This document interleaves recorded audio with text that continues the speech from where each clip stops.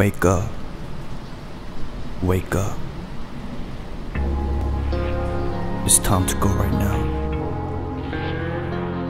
Don't be scared. No one can hurt you now.